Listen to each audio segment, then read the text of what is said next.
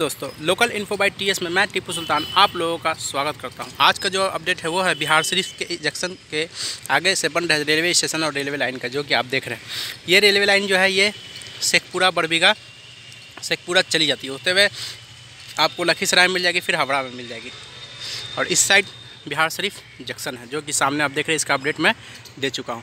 और ये लाइन जो है, ये राजगीर होते हुए गया चली जाएगी, फिर गया से आप रिटर्निंग पटना आ सकते हैं, या फिर पटना से आप या फिर गया से आप मुगल सराय जा सकते हैं या हावड़ा जा सकते, कहीं भी जा सकते हो आपके ऊपर डिपेंड करता है जहाँ रूट जाती हो। तो चलिए, मैं आज इसका अपडेट दूँगा और आगे आपको ले चलूँगा, कहाँ तक वर्क हुआ है, क्या है, क्या नहीं।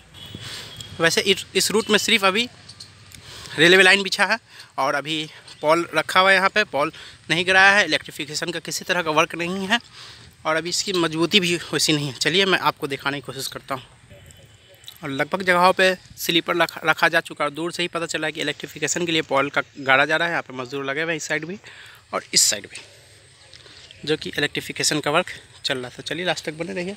मैं आपको पूरा अपडेट देने की कोशिश करता हूँ। फिर मैं जैसे ही बिहार शरीफ से थोड़ा सा आगे बढ़ता हूँ मतलब लगभग 500 मीटर दूरी पे तो आगे का स्लीपर का काम तो उतना कोई खास नहीं हुआ, लेकिन यहाँ से स्लीपर का काम जो कि आप देख रहे हैं, गिट्टी वगैरह का काम एकदम कंप्लीट है और ये बढ़िया वाला पत्थर है। देखिए, पत्थर को काट के। चलिए, मैं आपको आगे आगे हॉल्ट है, वहाँ तक अपडेट देने की कोशिश करता हूँ। और इसी तरह का अपडेट मैं देता हूँ, इसके लिए आप हमें फॉलो कर सकते हैं। फ्यूचर में और भी बेहतर बेहतर अपडेट आपको मिलने वाला है। और मेरा एक चैनल और है, अपना बिज़नेस ब्लॉग से आप उसे फॉलो करें सपोर्ट करें हमें, ताकि मैं फ्यूचर में और भी बेस्ट वीडियो आपको दे सकूँ।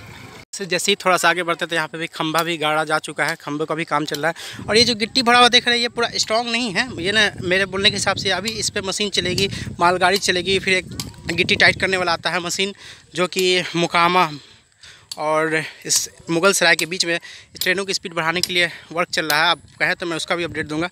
उस तरीके से इसे चाहता जाता है और वर्क को मज़बूत किया जाता है वर्क करके। चलिए आगे और बने रहिए। बता दूँ आपको कि मैं बिहार शरीफ जंक्शन से आगे मतलब बरबीघा की ओर बढ़ते हुए बहुत दूर तक चला है, लेकिन अभी तक एक भी स्टेशन और हॉल्ट नहीं मिला है। लेकिन बने रही है मैं आपको ज़रूर दिखाऊँगा हॉल्ट स्टेशन और वहाँ तक पहुँचने की कोशिश करूँगा, जहाँ तक कि कोई नहीं पहुँचा।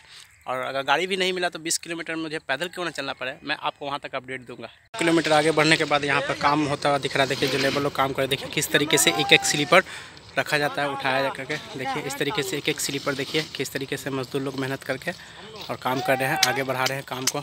देखिए कैसे उठा उठा के एक एक स्लीपर को उठा उठा के ये लोग कितनी मेहनत से आगे से ऐसे बढ़ा रहे हैं, वैसे बढ़ा रहे हैं। देखिए, किस तरीके से एक एक स्लीपर को उठा उठा के ये लोग मेहनत करें कितनी मेहनत लगती है एक एक स्लीपर में, आप बेहतर देख सकते हैं। देखिए, इस तरीके से उसके बाद एक एक स्लीपर जोड़ करके और हम लोगों को एक रास्ता से दूसरे, एक जगह से दूसरी जगह पहुँचाने के ये लोग काम करते हैं। तो इनके लिए भी एक सैल्यूट होना चाहिए। ये लोग बहुत बेहतर तरीके से काम कर रहे हैं।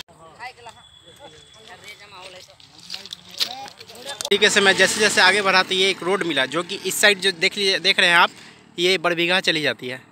और इस साइड आप बिहार शरीफ निकलिएगा मतलब नवादा साइड, राजगीर साइड, और यही रूट जो है कि आपको बिहार शरीफ जंक्शन जाएगी और उसी तरीके से ये रूट जो है कि आपकी बड़बीघा जाएगी। तो चलिए मैं आगे देखता हूँ, आगे लोगों का कहना है कि वर्क नहीं चल रहा है, लेकिन जहाँ तक वर्क चल रहा है, मैं अपडेट देने की कोशिश करूँगा आपको, फिर आगे का भी वर्क आपको दिखाऊँगा। दिखा दूँ, वैसे मैं दिखा दूँ आपको कि इस साइड पिलर का का स्लीपर का काम हो चुका है, और इस साइड अभी नहीं हुआ है अभी गिट्टी का काम चल रहा है। और देखिए आगे तक, आगे गाड़ी लगी हुई है, मैं दिखाने की कोशिश करता हूँ आगे की वर्क कहाँ चल रहा है। चलिए बने रहिए। और मैं जैसे बिहार शरीफ से तीन किलोमीटर आगे बढ़ा, बिहार शरीफ जंक्शन से, इस साइड जो किया है, इस साइड से बढ़ते हुए आए तो इस साइड यहाँ मशीन लगी हुई है और पुल पुलिया का वर्क चल रहा है। चलिए जिसका कि मैं अपडेट दे रहा हूँ।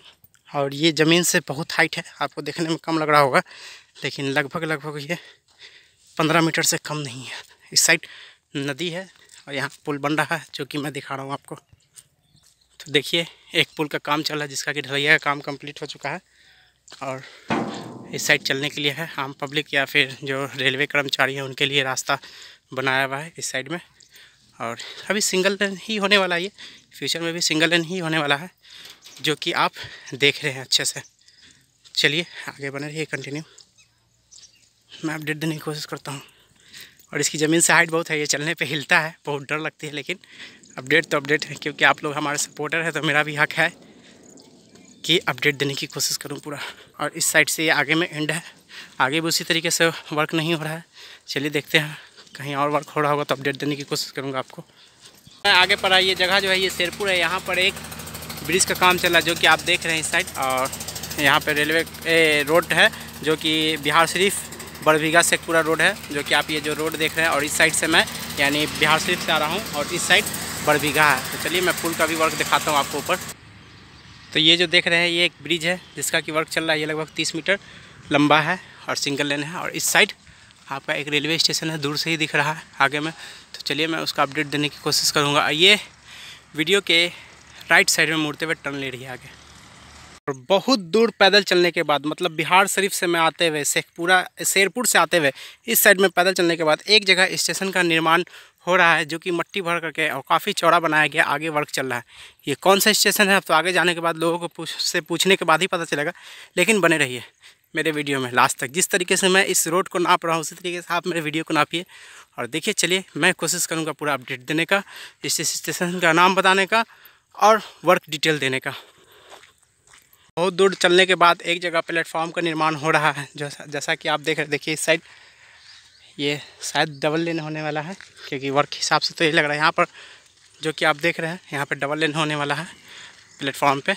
एक एक ही लेन एक ये लेन और नीचे में अंडरपास है पब्लिक के लिए। और इस तरह का रेलवे लाइन बेहतर होता है जहाँ पर भी, जहाँ के सिग्नल का प्रॉब्लम नहीं होता है। तो चलिए बने रहिए और आगे दिखाने की आपको कोशिश करता हूँ। ये तो क्लियर है कि इस साइड प्लेटफॉर्म होने वाला है और इस साइड रेलवे लाइन बिछने वाला है। क्योंकि ये हाइट ज़मीन से आप देख रहे हैं कि तारी का पेड़ आधा आ चुका है मतलब कि 20 मीटर प्लस होगा। और इस साइड, चलिए और आगे दिखाने की कोशिश करता हूँ शायद टिकट घर सब वगैरह भी बनने वाला है।